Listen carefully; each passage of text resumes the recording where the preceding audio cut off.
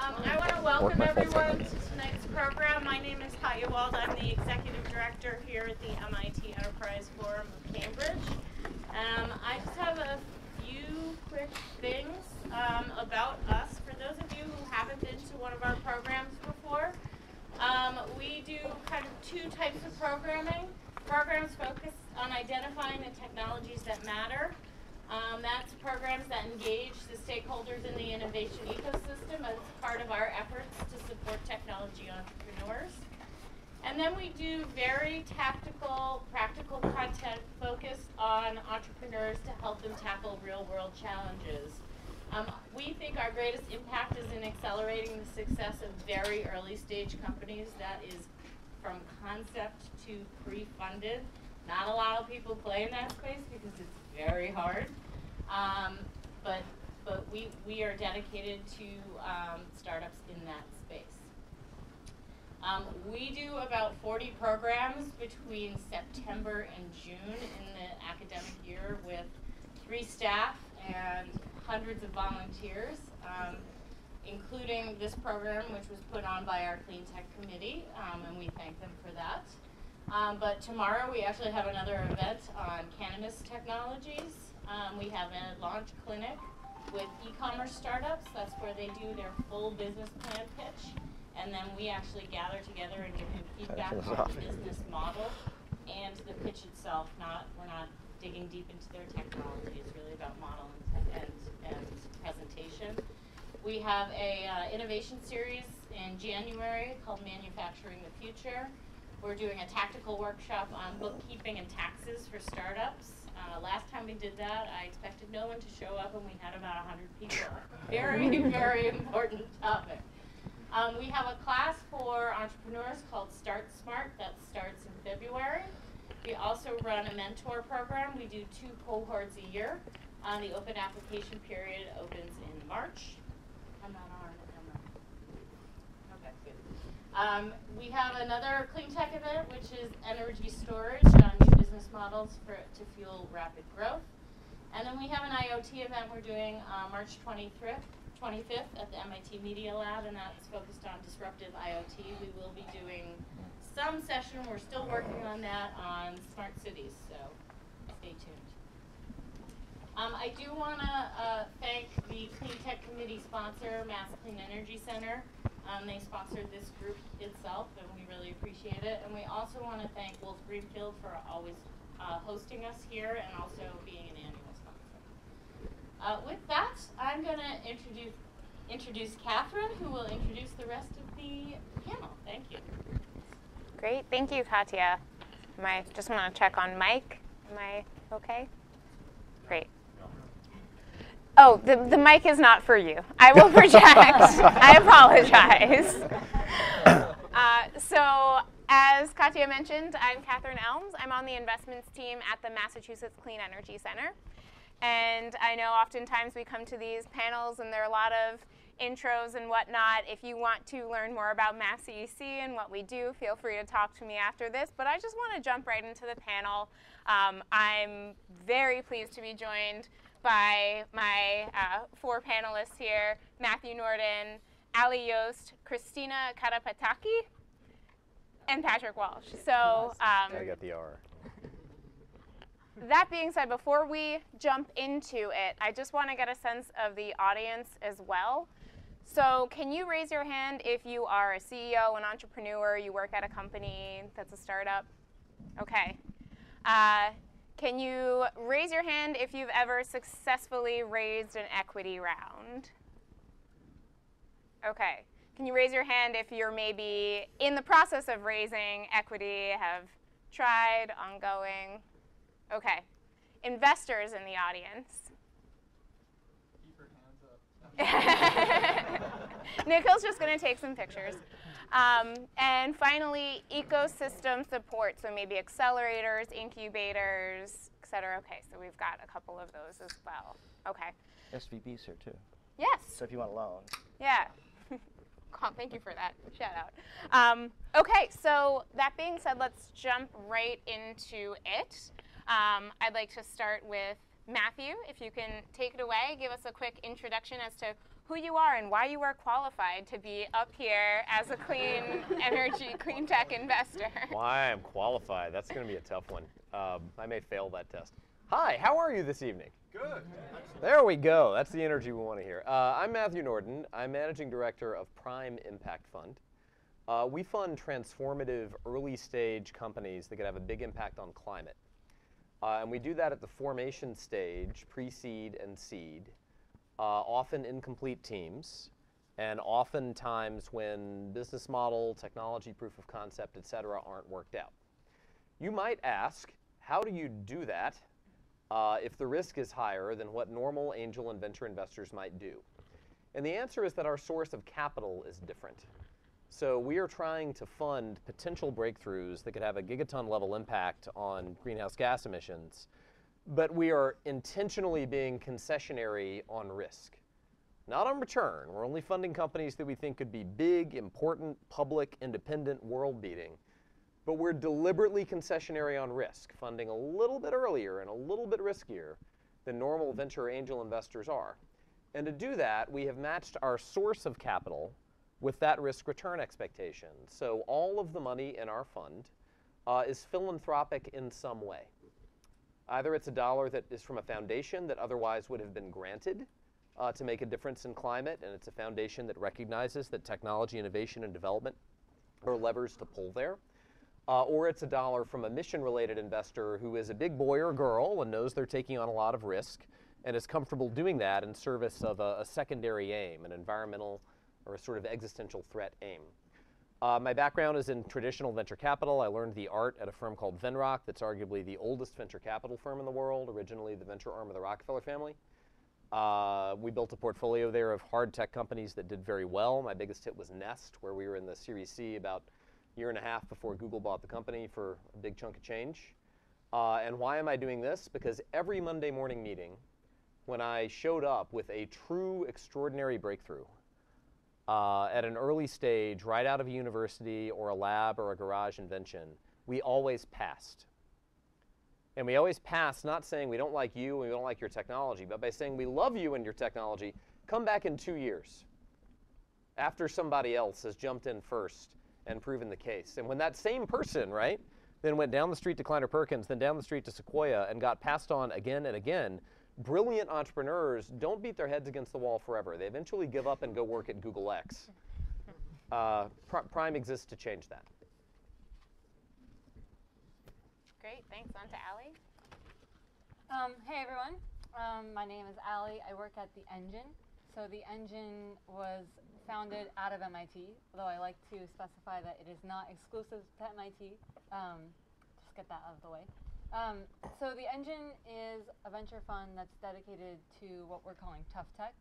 So for me, what that means is um, we're bridging the gap between discovery in a lab, oftentimes academia, though that's not a requirement, and commercialization in the early stage um, for things that are more deeply rooted in scientific and engineering breakthroughs. So we don't necessarily have a specific aim at only clean tech, but that certainly falls within our um, definition of tough tech. So we're pretty broad across industries, materials, energy, semiconductors, space, some life sciences where there's an intersection of bio and some element of hardware that makes it not really sort of fit the current um, mold.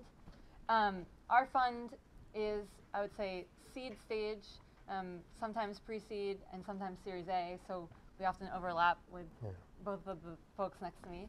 Um, and our fund is um, has a longer lifetime than traditional venture capital. So our fund has a lifetime of up to 18 years, which allows us to take on the risk at the early stage such that you know, it's more aligned with how long it might take some of these companies um, to get to market. Um, in addition to the fund, we have a bunch of other services that are de dedicated to try to remove friction for what's special about these types of companies. So um, I think uh, the biggest thing is access to more to labs, facilities, and capital intensive equipment. So I think um, if you're a young company and you're only raising two or three million, you don't want to spend a third of that on a mass spectrometer. Um, and I think traditionally, you go from being in academia and having access to any tool you could possibly imagine to suddenly having access to none of it as an entrepreneur. Um, and so we're building out a centralized access um, to these types of equipment across Boston through the different academic institutions um, so that startups can use them on a fee for use. We also have physical space located in Cambridge. Um, and then in addition to that, we're building out um, program that's dedicated specifically to the types of challenges that tough tech endures, whether it be on supply chain and manufacturing, things like that. And then also trying to build out um, a network of tough tech corporates and tough tech founders, I think, um, to bring better connectivity across the two, because I think tough tech in particular relies heavily on, you know, corporates for pilot testing, customer discovery, things like that. Um, but also, I think in general, it's hard being a founder, but it's even more lonely, I think, being a tough tech founder. And I think building a community is super important for, for that type of thing. Um, so why I work at the engine, I'm a scientist by background. So um, I got indoctrinated into the startup cult at MIT and went to work at a friend's company that was a spin out out of PhD research called Accion Systems, um, which builds ion engines based on MEMS fabrication. Um, and when I was there, I just sort of felt like I lived the problem of trying to raise money when you're a space startup, trying to call my friends that still had access to labs so I could come in at night to try and get an experiment done. Um, so we're trying to kind of build scalability for these types of endeavors. So. Christina? So, uh, hi everyone. I'm Christina Karapataki. I work at Breakthrough Energy Ventures. Uh, so BV is a $1 billion fund that was started about two years ago uh, by high net worth individuals and championed by, by Bill Gates to invest in technology companies that can significantly reduce uh, greenhouse gas emissions. And the way we're setting up the fund is with people that both have investment but also operational experience. So they have been founders themselves. They, they set up companies, they did fundraising, they did business, business development. And that's because we, we recognize that tough tech or energy companies uh, are going to need uh, both a lot of time and patient capital, but also a lot of support and we're trying to set up an organization that has the capabilities to, to step in and, and help those companies in, uh, during the various stages of pilot programming, sales acquisitions, development with strategics, and that's where a lot of our company building expertise uh, comes in. Uh, in terms of stage, we go from, uh, we, we're stage agnostic, we've invested across the board, but most of our companies are on seed, Series A, or Series B, and that's why where we interact with the colleagues on my sites. Uh, and typical check size are from, from seed stage investments of a few hundred thousand dollars uh, all the way to 15 or 20 million dollar checks on the, the more mature uh, later stage later stage startups. We have five areas that we invest in. That's electricity, manufacturing, agriculture, buildings, and transportation all with the goal of looking at significant emission reduction on the order of a gigaton per year if the technology was, was fully adopted. So trying to go after the, the large emission reductions and large problems that can make a change. Um, team is based in Boston uh, and San Francisco. Uh, has grown rapidly throughout this year. And I guess why I'm doing this, uh, I'm a chemical engineer by background. Uh, after graduation, I worked in the energy industry and innovation groups in, in large corporates in, in Houston. Uh, and uh, I was always interested to be, uh, I, I, recognize energy as a big problem, and I wanted to be more in the company building phase of, of investing early, taking an ownership and, a, and working side by side with the entrepreneur to actually build the business and then partner with large corporates. So that's, that's the conduit that I want to be and uh, I, I, think this is an important problem in our lifetime that we need to be working on. So that's why I'm doing it. So if you haven't noticed, we're going stage by stage, getting a little later as we go because Patrick got on the phone during panel prep call and said, nobody can talk to me unless they've already talked to everyone else. That's right. so I'm kind of the odd duck here. Um, I'm Patrick Walsh. I'm with uh, National Grid Partners, the recently announced uh, uh, corporate venture arm of National Grid.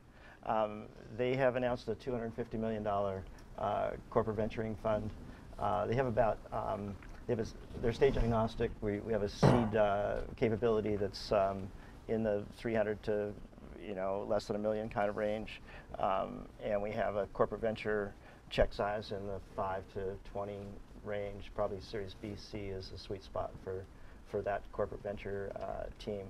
Um, we're looking for investments that align with the National Grid's uh, objectives to uh, to uh, decarbonize. I think decentralization is a, a, a big trend in the uh, energy industry right now, and uh, and digitization of everything. Uh, so smart cities, uh, smart vehicles, smart charging for smart vehicles, uh, smart grids. Um, we could probably use smart in front of everything. Um, my background is uh, from the computer industry where everything's dumb, but we're making it smart. And um, I spent 12 years with Intel Capital investing in a number of companies in the IT space uh, and had exits to Sony and Microsoft and EMC and Samsung and others. Um, and uh, joined, I joined National Grid because it's a, I think it's an exciting time in energy. And I think there's a, uh, we're at a point when where uh, energy companies really have to uh, make choices about what they're going to be in the future as we design a, a new energy infrastructure. And that's, that's what I find most exciting about, about working in this space. Great. Well, um, before we proceed, I just want to clarify in case anyone does have questions down the line, we do have question cards that folks can write on um, that will be circulated. So feel free to write questions along the way so you don't forget them. Um, but Patrick, that was a great segue into why energy and why clean energy, why clean tech and why it's so hard to raise capital in this space. So can you speak to, and this goes for the whole panel, unique challenges in the clean energy, in the clean tech space that makes this sector harder to raise venture capital in? I have strong opinions about this matter. I think we all do. uh, you know, look, you know, how, how does the world work? Uh, you know, the world works on risk-weighted returns. Um, and what's the benchmark for risk-weighted returns? Well, it's if you put a buck into the stock market and you bought the market, uh, you know, over an average 20-year period of time, what would happen? And the answer is you would get about 8% annual return compounded. It's what just history would tell you, right? Um, as soon as you start deviating from that, you know, either by increasing the risk level or decreasing the return or, you know, inserting something else that's a surprise, you get changes. Um, and one of the things that you know you tend to get as a triple whammy in energy and environment is three things: more time, more money, and more risk. You know, more time. Uh, what's you know, use Instagram as an example, right? You know, bought for a billion dollars three years into its life, uh, with 15 employees and about 13 million dollars invested. It's it's uh, it's possible, you know, theoretically possible, but unlikely if you're developing something that hurts when you drop it on your foot. You know, whether it's an ionic propulsion system or a battery module or a plant that turns cellulose into fuel, uh, that you're going to be there with proof points and you know evidence of EBITDA and real value in three or four years. The time's going to be longer. Um, the second one is more money. Just facts of life. Uh, you know, there are examples of capital efficient companies that have gotten to interesting outcomes in energy and environment, and may you be them. Uh, you know, but their proportion of the whole is smaller. Uh, if you look at the amount of money it takes for solar, it took 150 million bucks. Tesla took about 350 million, you know, of equity plus an equivalent amount of government-backed debt. It's just more money, right? And you might look at that and say, well, that's not true. You know, IT companies take a lot of money. Groupon raised $700 million.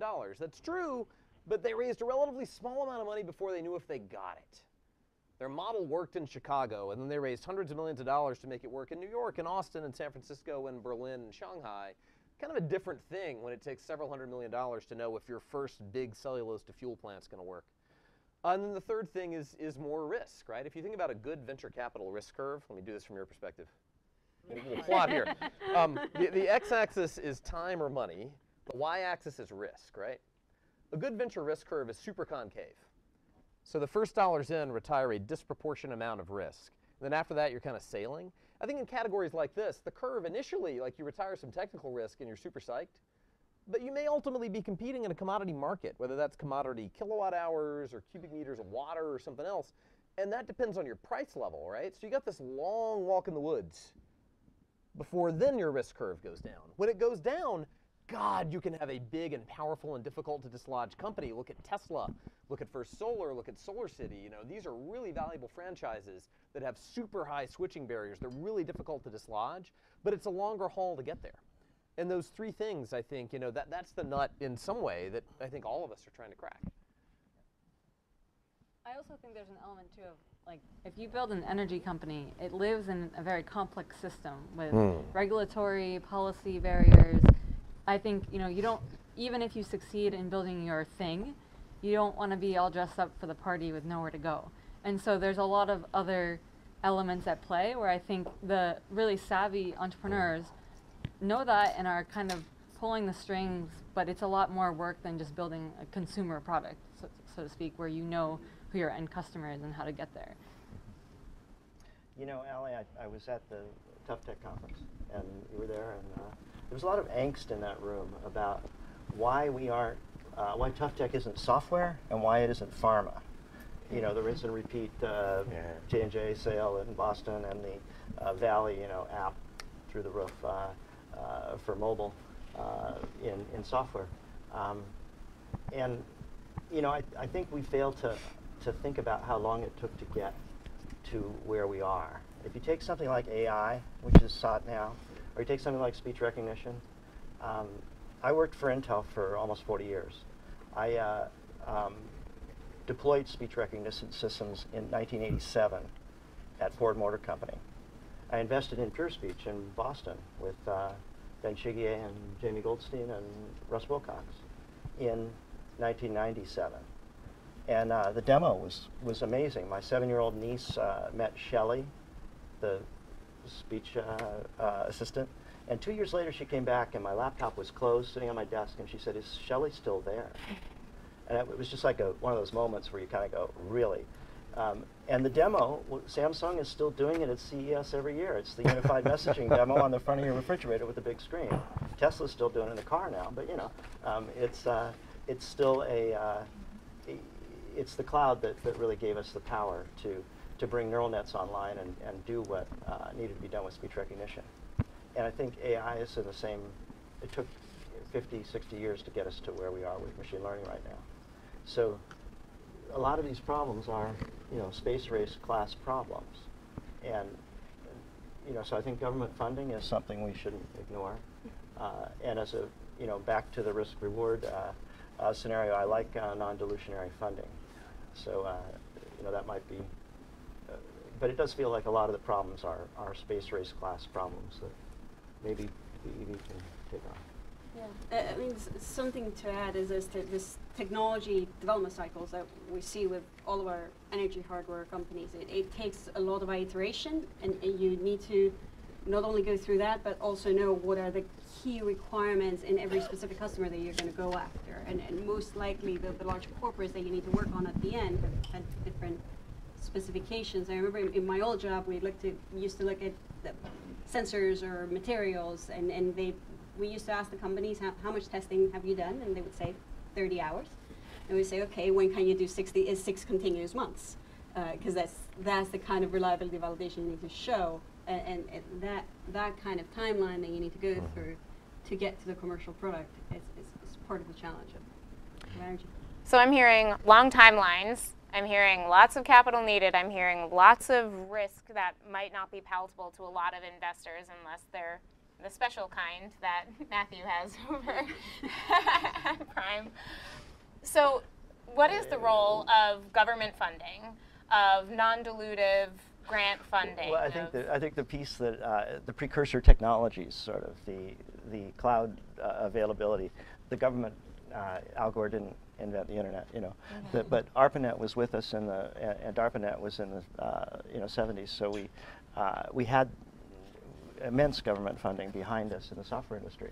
In in pharma, uh, you know, we computational biology and, and drug design required IT, required uh, you know uh, programs to be uh, perfected and uh, supercomputers to actually crank that stuff, and then you could iterate multiple times. So precursor technologies, I think, is really uh, what the government is really good at, and trying to uh, figure out. Um, I think trying to align those uh, is a uh, you know, National Science Foundation kind of uh, effort that we should embark on as a, as a country.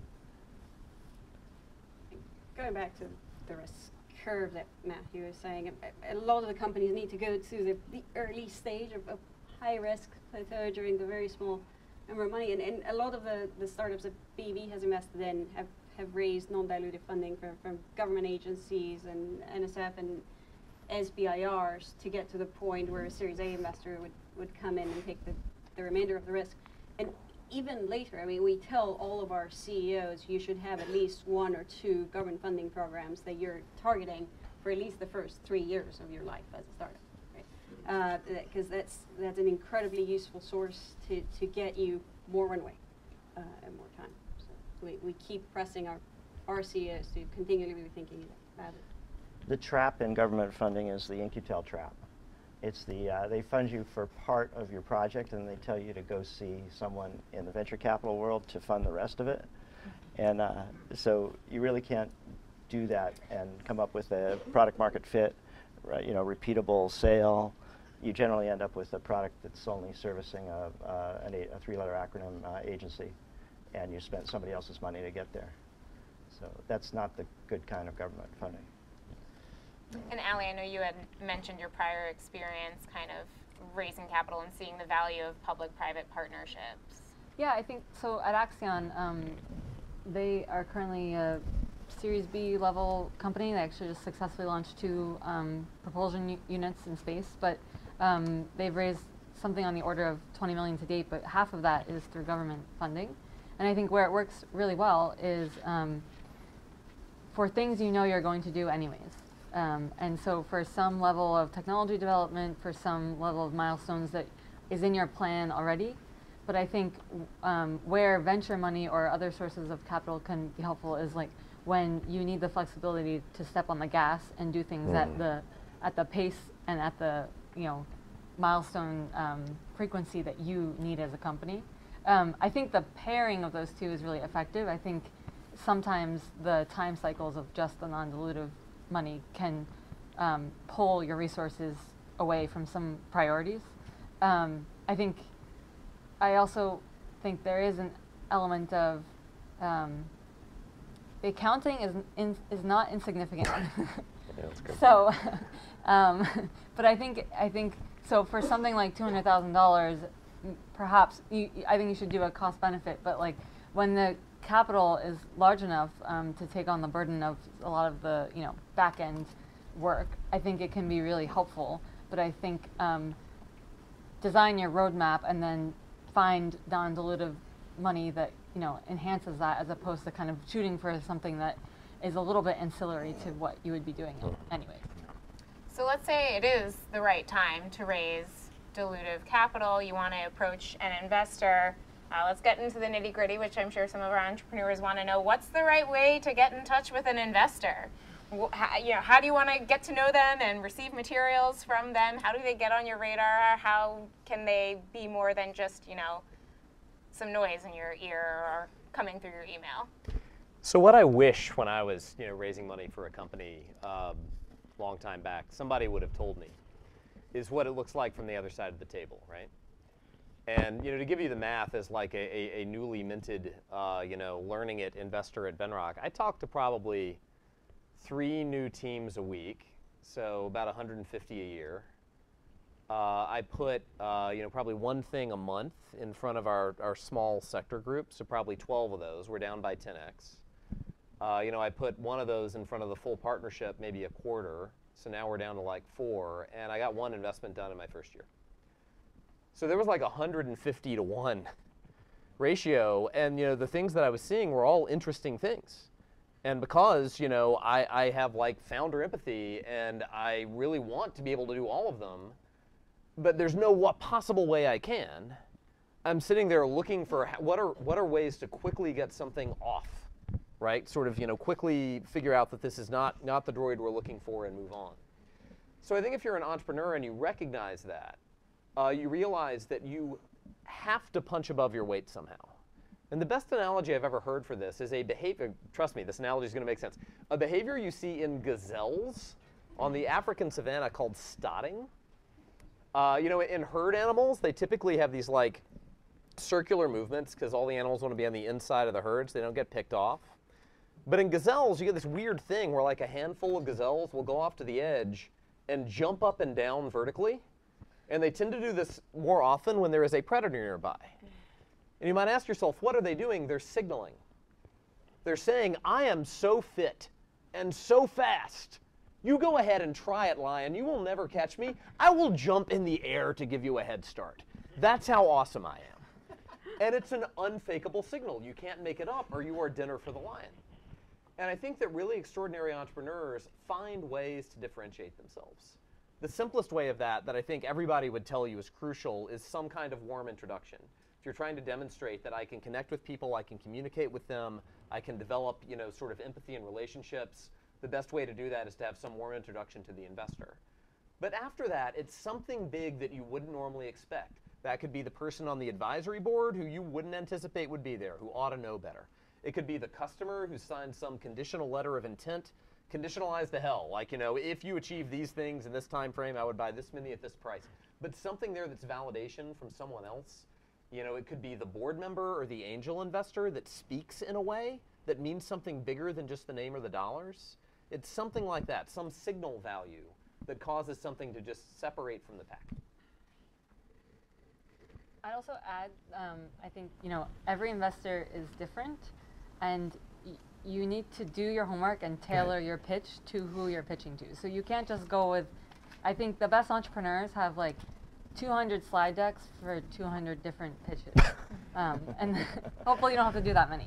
But I think, um, I think part of that speaks to, I mean, we know when you're catering it to what we do, but that means that you've done the homework, you kind of talk to people. I think it speaks highly of like your entrepreneurial nature.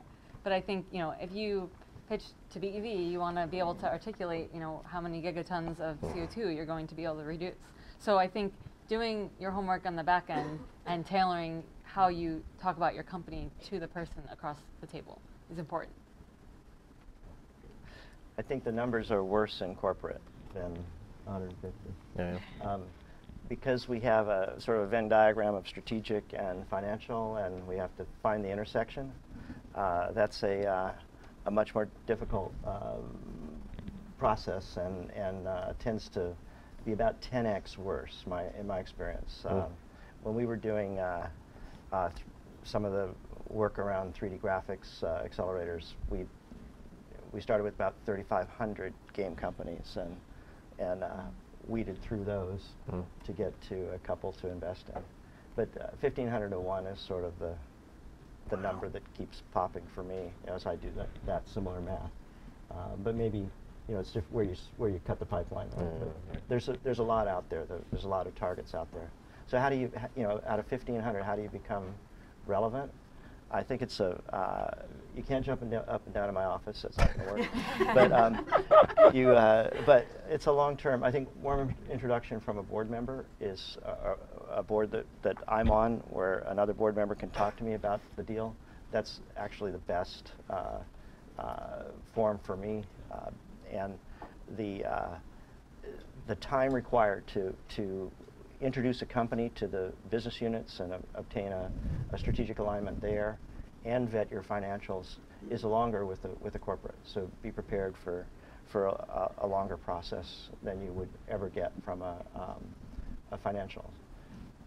And I think that that also means it's a long-term relationship you're going to develop with the investor. Uh, So consider it a dialogue that may go through multiple rounds. If it's not a fit this round, it might be a fit in the future. So you're starting that, that dialogue. It's not a, uh, uh, um, it's not a, a, there's never a definite no in this game. There's only a definite yes. To, to add to that, uh, try and talk to people before you need the money. Right, so you can you can have the, the I completely agree with the warm introductions and the, the, the knowing what the investors are interested in, but you don't have to start the discussion when you're starting your Series A raise or your seed. It, it's very much a getting to know you, and we, we are also learning the markets too. Every time we look in a different technology space, we're starting from scratch. So if, if someone walks in the door and they can teach us something, from their past experiences, from what they're building. There's so much expertise in the room. It, it kind of takes a village.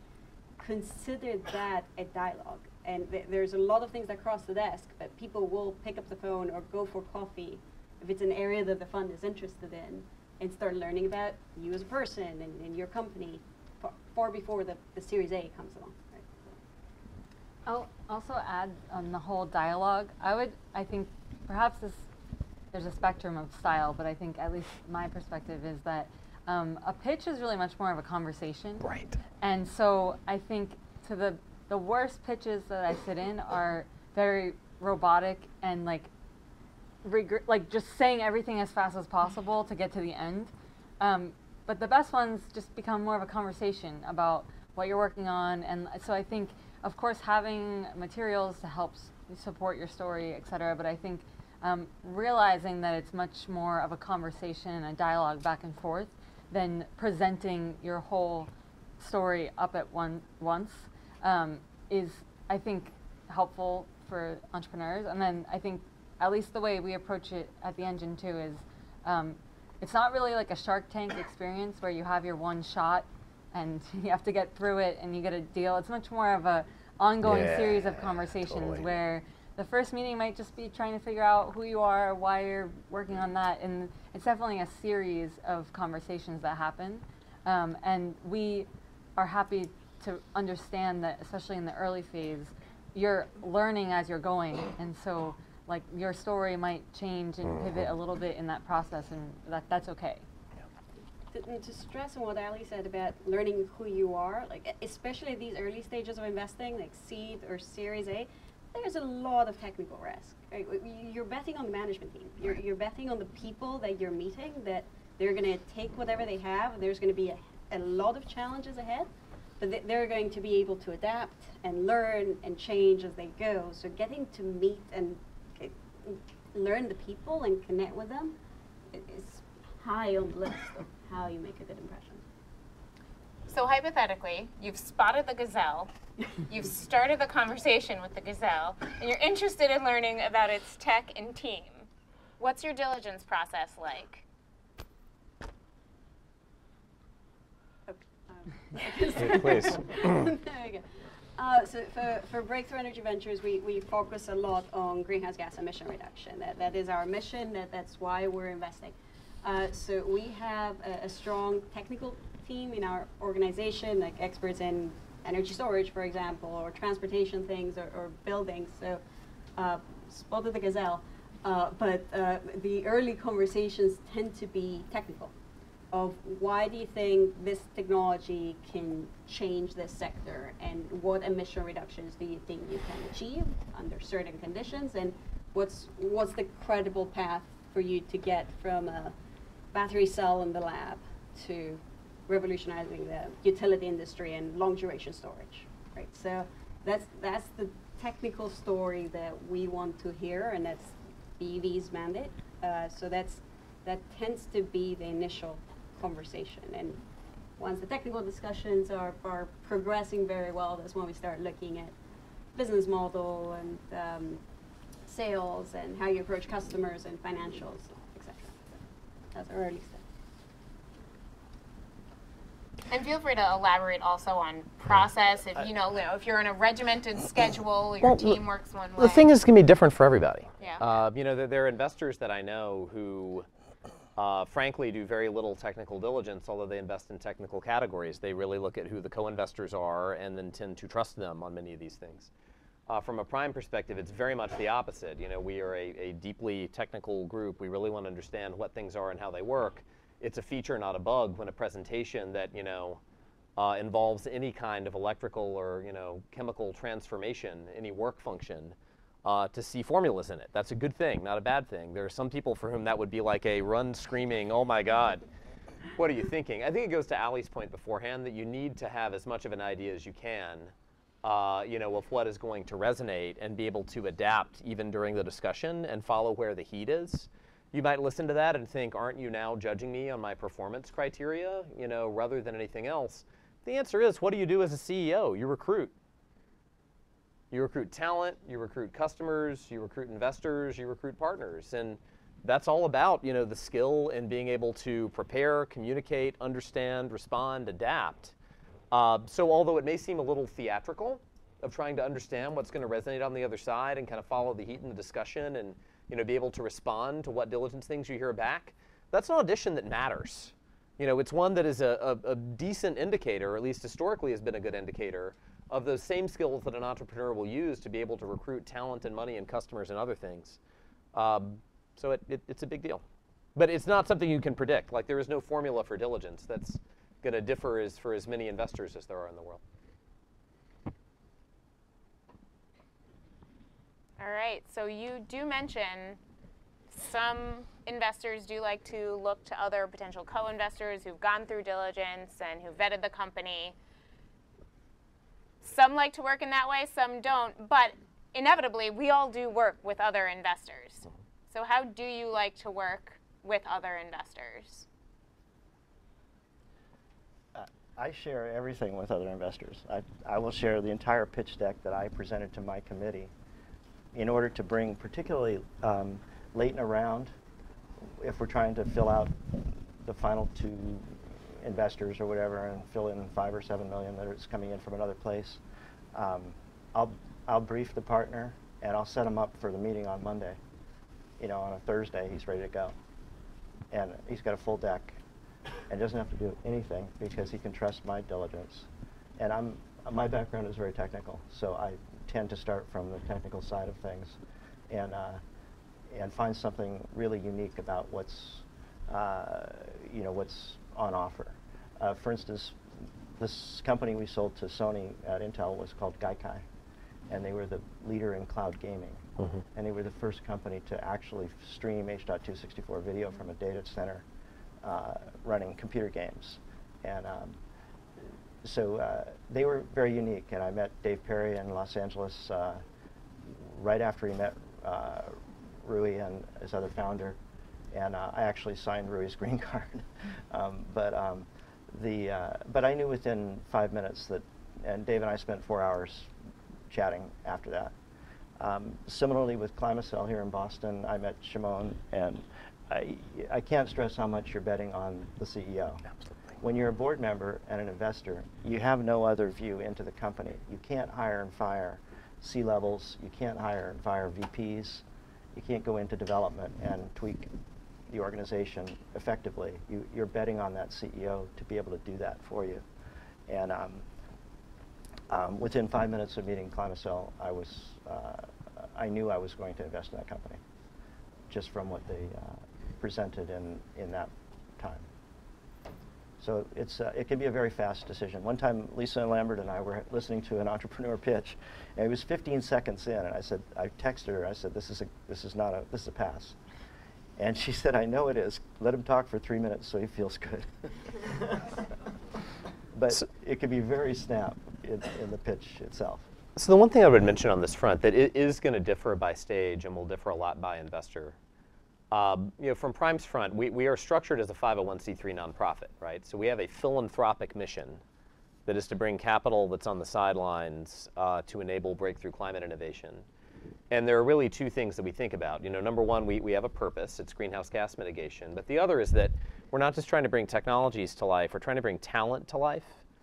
Because, you know, there are young entrepreneurs who have to choose on the bubble, you know, where, where are they going to devote their energies, and we want them to be focused on hard problems. So we are very explicitly and unabashedly pro-entrepreneur. If we have to pick sides, we're on your side, right? And that manifests itself in real ways. I mean, to give you an example from this week, there is a round that we're leading. It's a $2 million round. Uh, it's in a hard tech company in a kind of neglected industrial category, not from a coastal tech center like in the middle of the country. Uh, we are pricing and leading and doing a million bucks in that round, and we were bringing together the other million dollars from our network.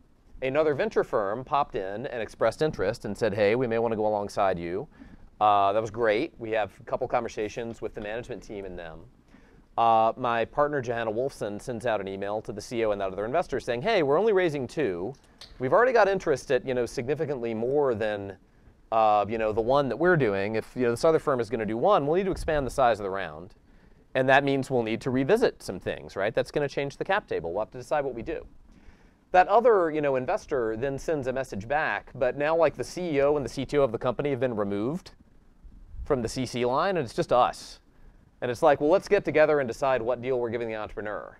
And we're like, forget that. We're not going to collude, right? And then come back and eliminate the entrepreneur's ability to do price discovery and you know figure out what is going to work well for them and what is market. And you will find great divergence, you know, between how pro-entrepreneur, uh, you know, versus kind of pro-investor, uh, you know, early stage investors' terms and attitude is. Personally, I involve the, the CEO in that discussion from start to finish. Yeah. And at the end of the process, if, if we don't see eye to eye on valuation, which is the last thing in the process, um, i- we've done something wrong. I actually want them to suggest to me the valuation that I have in mind. And I want them to do that based on uh, models that we have developed together about their valuation, about their future valuation, and their exit potential, and, and what stage they're at right now. And if we can agree on, on that, then um, those figures are usually missing from pitch decks, by the way. They, that's what we do when we go to committee is fill out the re- rest of the pitch deck, right? Well, I do that with the CEOs so that they can see the process. And I usually share the deck with them fully so that there's transparency. I don't, I don't need surprises with them because it's a trust, there's a trust relationship there. I think trust and transparency are very key in all of this. So whether or not every investor is going to be as open with their data room and their diligence as your team is, odds are investors are talking to each other if they have heard you pitch. I mean, you've heard folks emphasize that the warm introduction is so important. So odds are someone is speaking on your behalf and you know there's there's some sort of dialogue going on about your your uh, company and the investor community.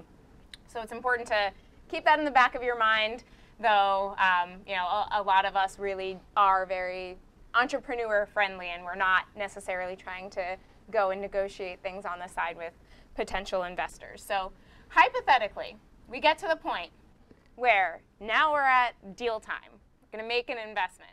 Oftentimes, terms need to be discussed. So let's do a quick rapid fire raise of hands for the panel. Uh, do you go into seed rounds? Series A.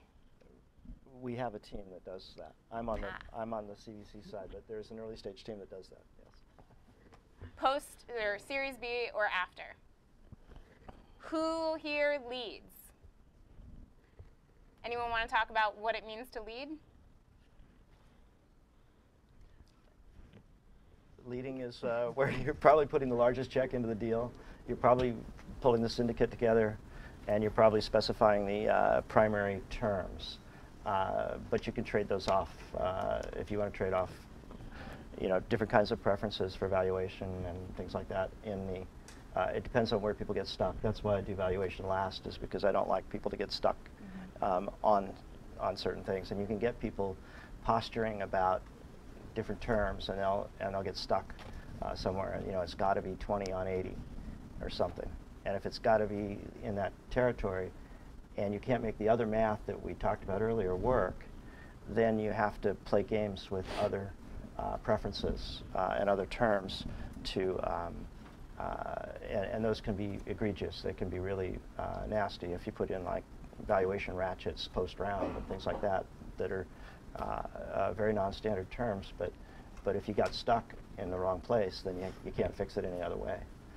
So um, And you also Anyway. have cases where you could be collating, where you're, mm-hmm. you're talking to multiple investors, there's good alignment between two parties that you're talking to, or there, there's a large round that you're trying to raise, and there, there's synergies for both the investors and the companies to actually have a quality term sheet.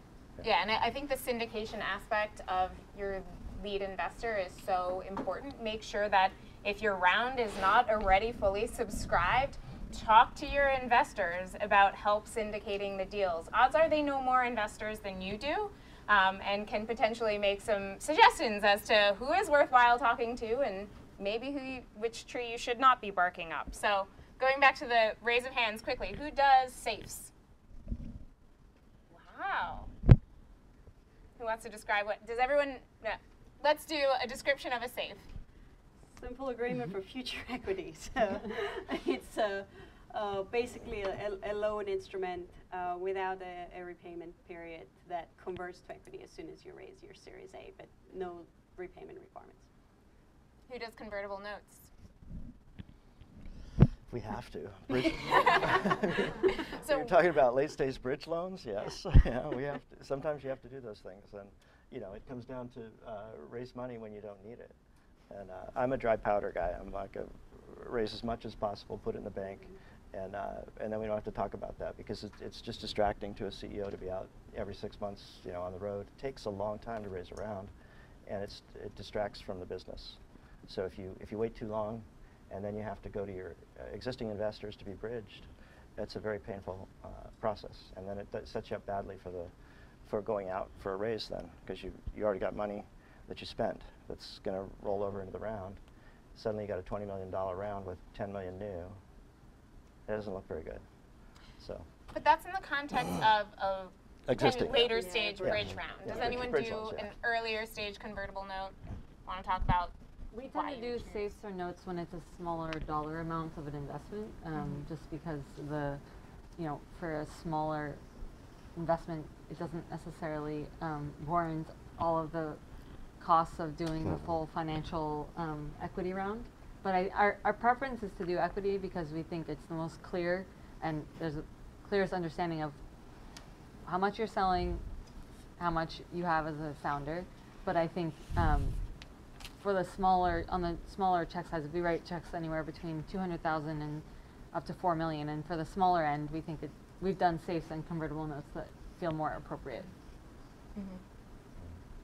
Great. So um, I don't know how we are on time. I realize there's no clock. Uh, okay, great. So I want to leave enough time for questions. I've realized that the question cards are up here and have not been circulated. So I don't know if anyone wants to help circulate those, pass them around.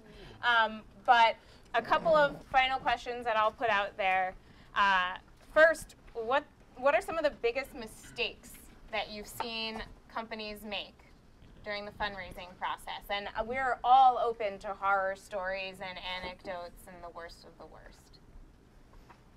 Hmm. Um, I think uh, founders arguing amongst each other in front of the investors is probably not a best practice.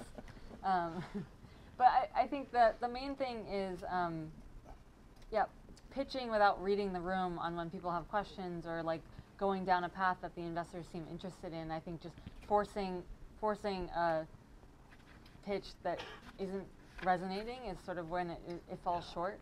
Um, and then I just say I think um, in emails, the two-page emails are probably more difficult to digest, I think, as well. so I think to the, I understand that for most of you, you're developing more complex technologies. You need to articulate what you're doing, but I think to the, if you can do that in a brief way to catch people's interest, I think that's most effective. No, I think that's a great point. If it does not fit on the first screen of a smartphone, it probably isn't going to get read. Um, the, the big thing for me actually is, is, is interpersonal founder dynamics. And I think there are two dimensions to that that you know, I've, I've seen as a common kind of tripping up thing. One of them is having you know, multiple founders where there's not clarity on roles. You know, if two people show up and say we're co-founding and you're like, all right, you know, is one of you the CEO and one of you the CTO? And it's like, well, not really, we're both gonna do most things. That tends to end poorly. Uh, you know, and, and I'm sure that there are, you know, teams that have and will continue to pull it off. But just like empirically, you know, the balance of cases where everybody was equal, uh, you know, versus the buck stopped somewhere is probably 100 to 1, um, you know, in, in favor of having clear roles. So that's one. The other one, though, even if roles are clear, is different versions of success. Uh, you know, so you might, we, we encounter this commonly where there are like, you know, two or three people who work together in a lab and then a business founder who may have joined them and uh, you know they look around the table and, and, have a high degree of equanimity, but their their view of success is very different. You know, for one of them, it is I want to put two or three million bucks in the bank, maybe in an early outcome that you know marks me and my family as safe and gives me the ability to uh, you know take on more risk in the next thing I do in my career. And the co-founder's version of success may be ringing the bell on the Nasdaq. Period and their view of like how to raise money and to do what and what a successful outcome looks like will be so radically different that it's extremely unlikely they're going to agree, and therefore it's extremely unlikely they're going to still be working together a couple of years from then, which is a death knell. You know, there's no replacement for the founder's zeal. Um, the, the advice I often give to entrepreneurial teams is like go out for drinks together and have two drinks, not one. With one, you may not be fully open.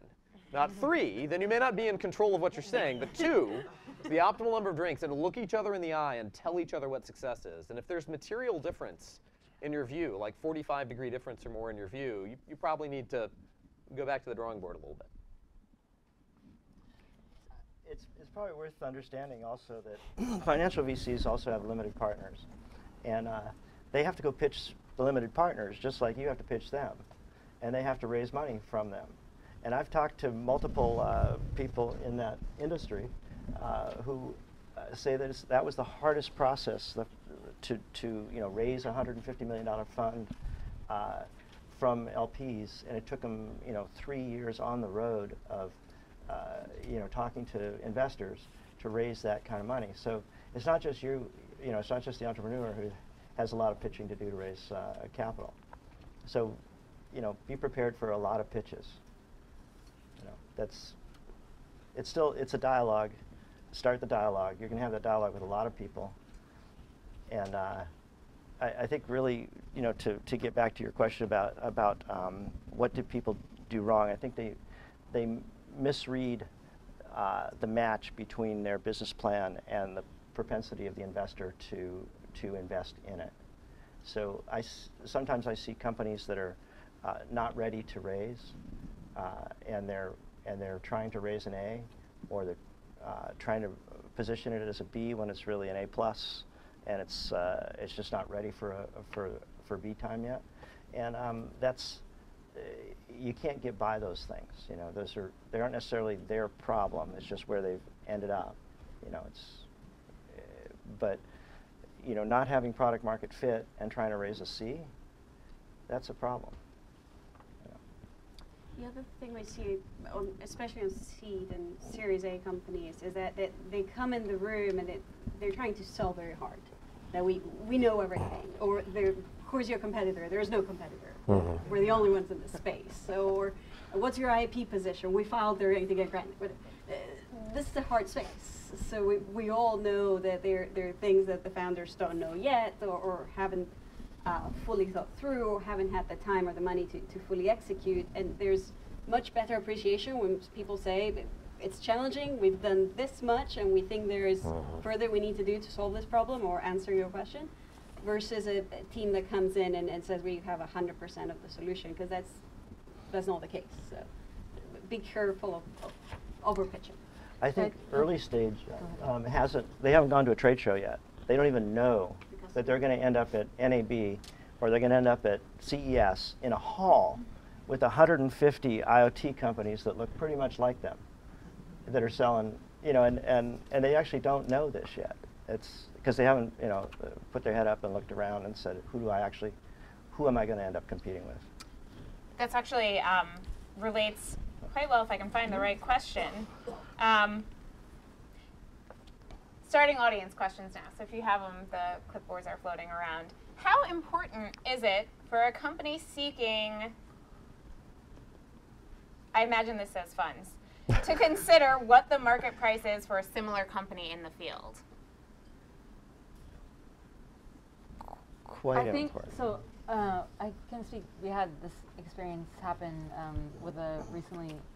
We invested in the company recently in this. I think it, as an entrepreneur, you should certainly do your homework and understand what the market is for your industry to see whether mm-hmm. you're like on par or not. But I also think, um, in our instance, we sort of had the belief that you know too high of a valuation too early actually sets your company up for a hard road down down in your next two rounds um, because you need to increase that uh, tremendously.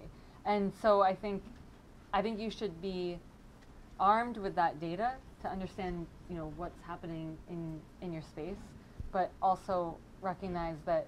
Um, I think you know we take the approach that you know if you can get a better deal, like by all means, go do that. It's in your best interest. Um, but I think it's always a, a, conversation, at least from the investor standpoint, of um, not truly trying to understand what your company is worth per se, but what is the valuation that will make sense for the bucket of work that you're doing, and how does that set you up for the next two or three buckets of work? Because I think it's really hard when you're in your third round and you have to deal with a down round because it was priced super high at the early stage. And so I think the increments matter. Um, so thinking a couple of steps ahead mm-hmm. is important. Totally agree.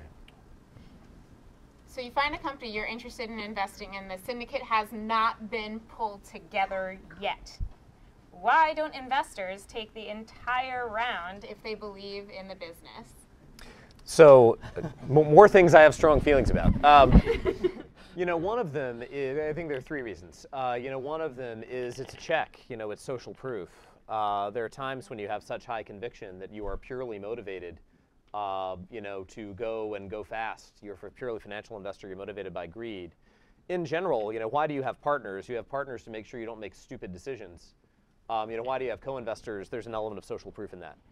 Uh, you know, a second one though that I think is a far bigger deal, and it matters to the CEO. If you're the CEO and you, which happens like half the time, right? You'd plan to raise this amount of money to do these things, hit these value inflection milestones, and raise the next round at an uptick. Half the time, you don't hit those numbers, mm-hmm. right? Like reality intervenes. Something didn't work. You're asking the wrong questions. There was a downturn in your industry. Customer took longer than you expected. And you're looking around the table and saying, okay, well, we now need to do an inside bridge. You know, our existing investors need to pony up a little more cash. You do not want to be turning to one wallet. What if there's a surprise? What if they're at the end of their fund? What if whatever? You want at least two or three people, uh, you know, that you can turn to to have that discussion, and that's out of pure entrepreneurial self-interest. So it's not that maybe the investor doesn't want that; it's that you don't want that. Um, and then the third aspect of it is, you know, again from the entrepreneur's perspective, if the money that you're providing is just if, if the money that you are raising is just money, that may be entirely true. And again, in difficult areas to raise money in, any port in a storm, you may not have this luxury. But if you do, and your choice is between doing something all with one investor or with multiples, you want to have multiple networks open to you that are non-overlapping. You want to have multiple sources of feedback from people who don't have the same biases to test you and sharpen you and make your decision stronger. You know, you want to have multiple routes to an introduction at the customer, multiple routes to the person you want to hire you know, there's a point where that gets unwieldy, like having four or five investors in a seed round, probably a bad idea. It's too much for you to manage. You got to focus. But you know, we're two better than one, three better than two? Maybe. Beyond that, it can get, get a little more unwieldy.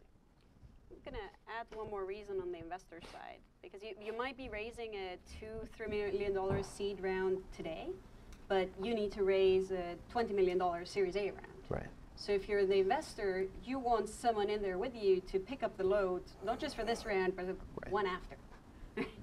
So that's uh, another way of looking at it. When you're thinking, oh, this is a small round, this fund can do it, look about the size of the fund and how can they follow on in the future rounds. And I know that at Mass CEC we're very hands-on investors. So the more investors around the table, the more hands-on deck to help during some of those challenging times. One of the questions was whether or not we do help the companies that we work with help recruit and find talent uh, we're constantly getting job descriptions from our companies that are trying to hire. So the more investors at the table, the more hands on deck you have. And going back to something that Matthew said, and also something that you commented on in terms of bridges, everyone always seems to need some sort of follow on or a bridge. I get that you might be coming in and saying this is going to be your last equity raise or there's only going to be one more, but uh, the the trend seems to be that you do need that follow on and having that additional dry powder of more investors can be can be really critical. Um, and and also commenting on uh, the importance of having diversity of investors. Someone posed the. Well, mm-hmm. a, a, really good example there is uh, Filament out in uh, Reno, Nevada. They're in the blockchain space, and um, uh, JetBlue Ventures is in in that. Verizon is in that. Uh, Intel's in that and uh, each of them brings something entirely different to the company. And JetBlue is also an investor in ClimaCell because weather data is really important to airlines. And Ford Motor Company invested in this last round because weather data is really important to self-driving vehicles. And uh, National Grid invested because weather data is important to our operations as well. So there's these different verticals, and these represent entrees for the company into uh, new markets. So transportation, uh, aviation, and utilities are now open to, uh, to the company through the involvement of multiple strategics. And that's, that's unusual. It's not an Andreessen-led round. Um, but, you know, Andreessen is entirely the other situation. They typically write the entire check and, uh, and wouldn't allow anyone else in the room. So on diversity of investors, and you happen to be a corporate, so I'll direct this one at you. Uh-oh. Um, but everyone else can comment as well. Uh, how should entrepreneurs thinking about think about the importance of, or how they signal uh, having corporate strategic investors involved in around, and not just financial investors? So what is the importance? How is it perceived? Very often, so so corporates that lead are un, unusual, except for Intel Capital, which sort of wrote the book on that, and um, and National Grid is following in that because everyone there is from Intel Capital. Um, so uh, we believe there's uh, there's a power in in uh, in being able to lead the investment, whether you co-lead it or not. Uh, being able to step up and set the price um, that that puts you at parity. The, I guess it's really important that you not be misaligned with the financial investors. And I think that's the, that's the real key, is that everyone in the room has to be aligned. And so you have to behave as a financial investor. And that means you have to, uh, you have to uh, follow on with uh, bridges. You have to be able to participate pro rata in future rounds. You have to be able to, uh, if you led, if you, uh, on the round you came in at, very likely uh, you'd be leading that round. So I think um, um, one issue with coming in early on a Series A, uh, this actually happened to me at Intel Capital. As a corporate, we're not allowed to reprice our own holdings. So I couldn't actually lead the A after, after putting mm -hmm. 500K into the seed of uh, a company in San Francisco uh, with the intent of leading the A. I couldn't mark that up as a, a, corporate investor. And we had to find an external financial lead to uh, price that round. Mm -hmm. So I think that's the, that's the real big red flag is that most people think that if you got corporates in, they can't set the price, so you have to go find a, a financial to set the price. But I think if you can get past that, um, you know, then you have the right people in the room. And you know, the people I've worked with at JetBlue, at uh, Verizon, and at, at uh, here at National Grid and at Intel, they um, they know what they're doing.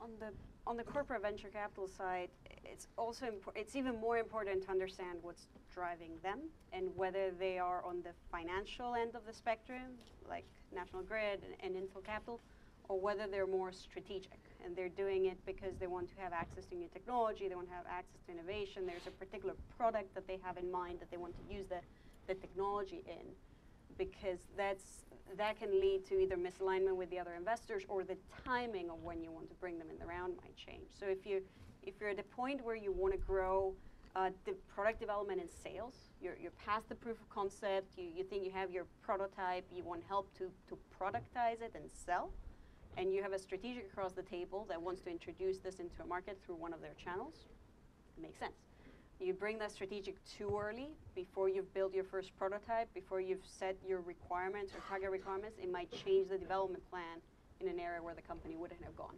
otherwise and close off other markets. So timing uh, and what the, the interests of the strategics are, are, are important. If you, if you um, look at strategics, you can probably see some that are looking at acquisitions. Mm -hmm. And so they look at an investment in a startup as an incremental acquisition. Um, one of the terms they might ask for is a uh, right of first refusal on your exit. And um, you want to push back on that. And I've been on the yeah, both sides of that table. And uh, you want to say no to that. Uh, as a board member at the company, you want to, at most, give them information uh, that there's an offer and that they can counter in the next uh, five days or something like that. A very short window to counter but you don't want to uh, uh, you don't want to get in a situation where the valuation is pre uh, negotiated or whether the where the identity of the um, of the buyer is disclosed. For instance, if it was you know Juniper, Cisco, Huawei, or somebody like, you don't want to get involved with that with uh, disclosure of the identity or the or the even the amount of the offer. Just there's been, an offer has been made. So information rights is what I limit that to.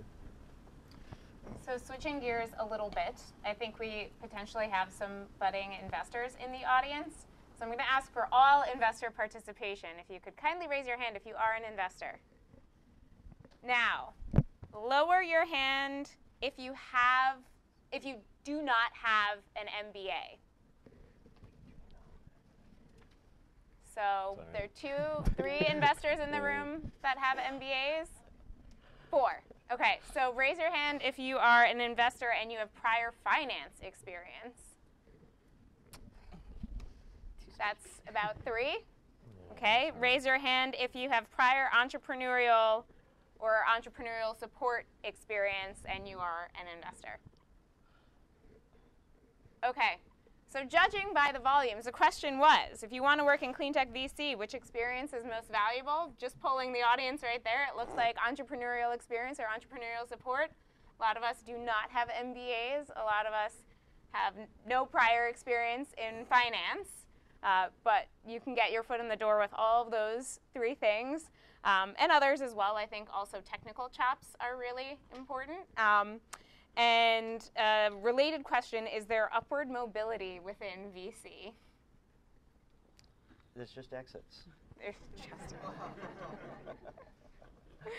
we actually had this problem at Intel Capital is that uh, you, you invest and you have exits, but there's no, uh, the hierarchy of investments, uh, of, of uh, investment teams uh, are simply that there's a, uh, is a committee that approves things and then after that, you know, there's some finance people that keep track of what's uh, HR people and things. You don't want to get promoted, promoted to that.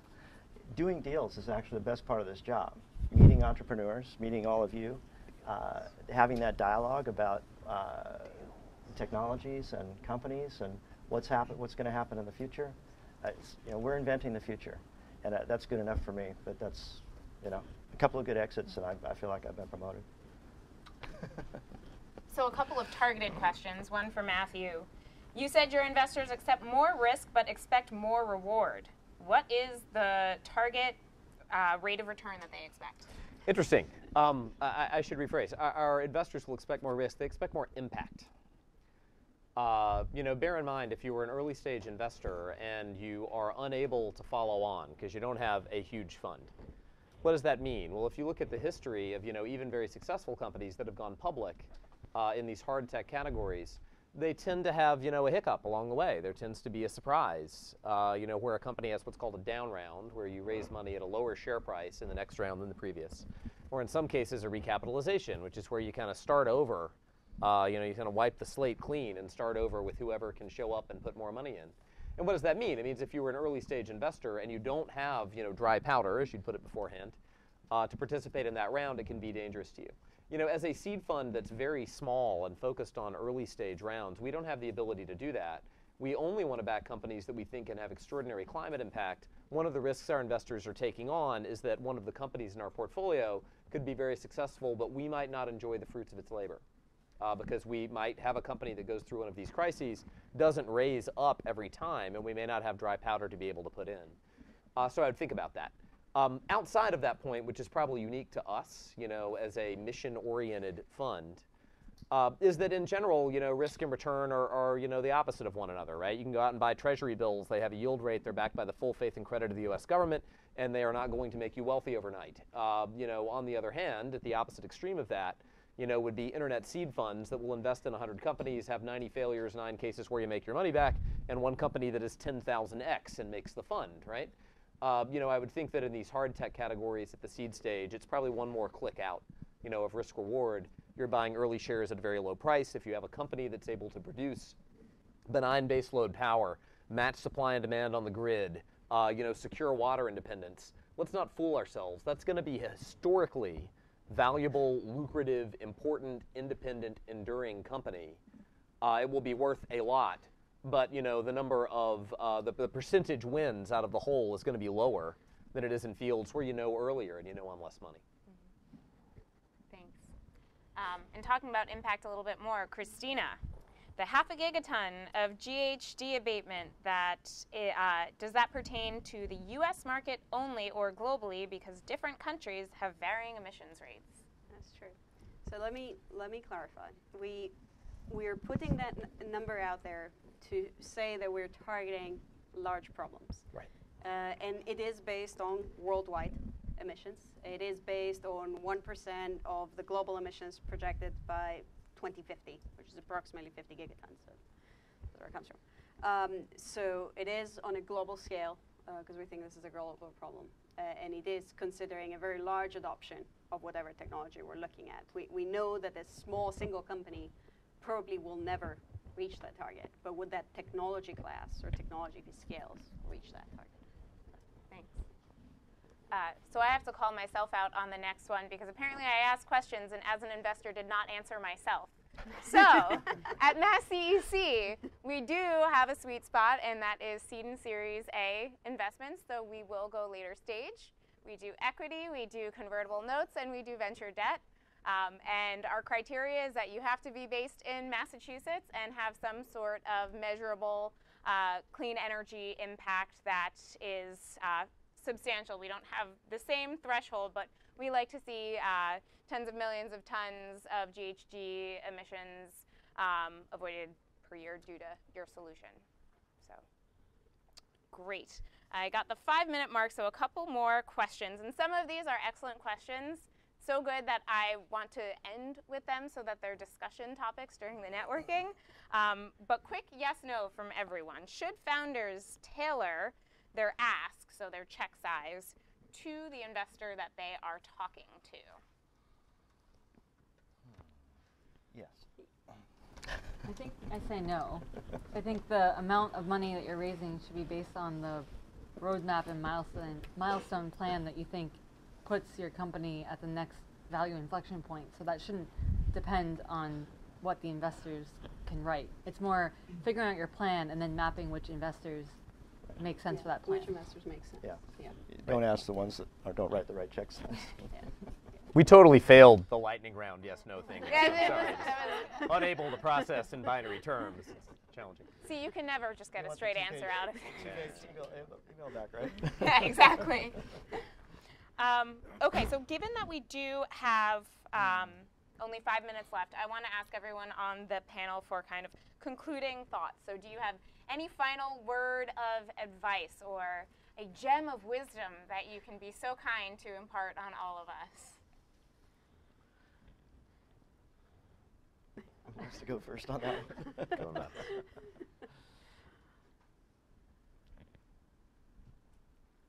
No, I, I mean, I, I think I don't. I'm new to this world, but I mean, I think the.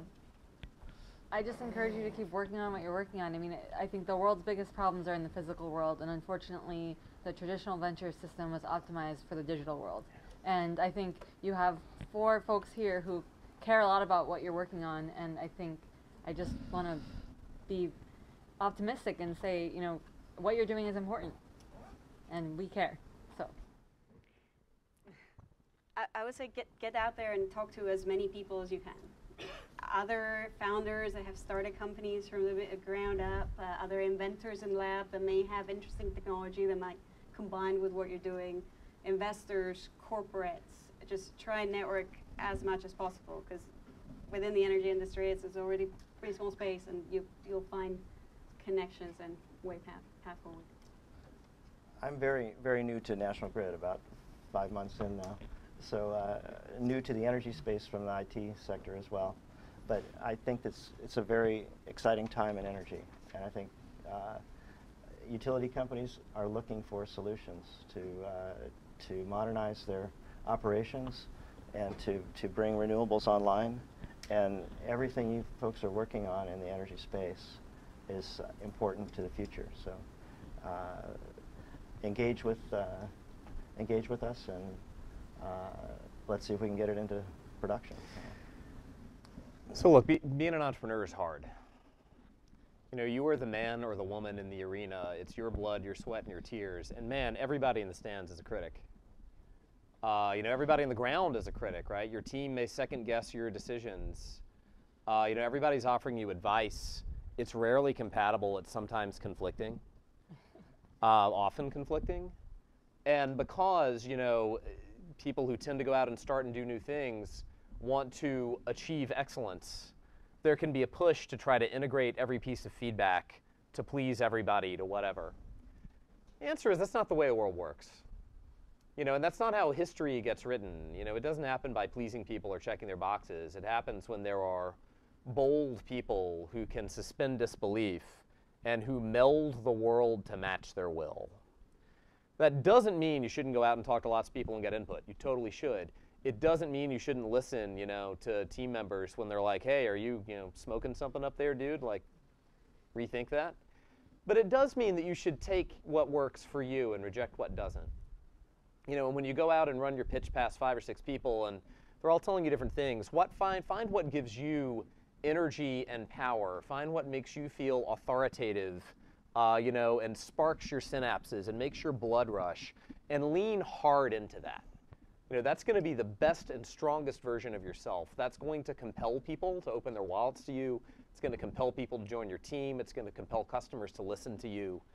Uh, and none of this stuff happens without you. You know, you are the motor that moves the world.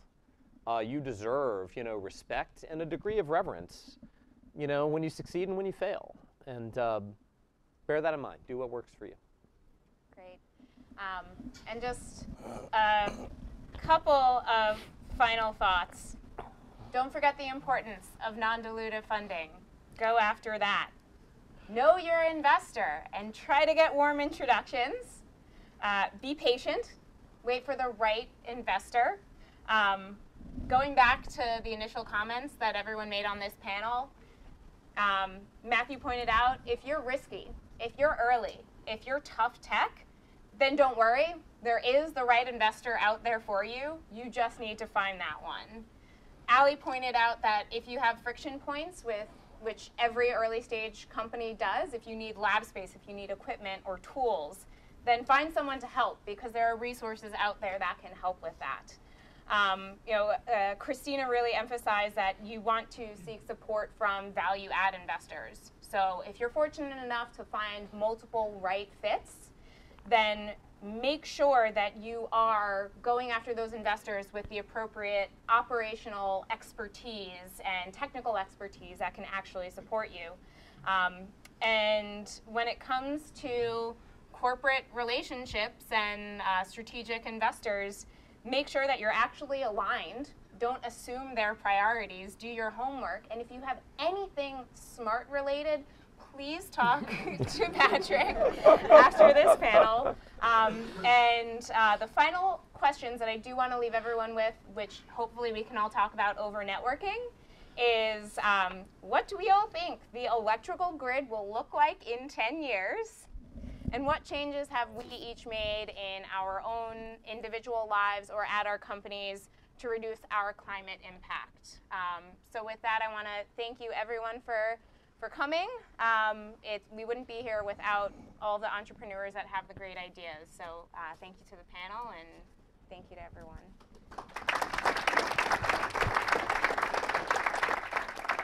Hi, um, I'm Jill Feblowitz, and I am the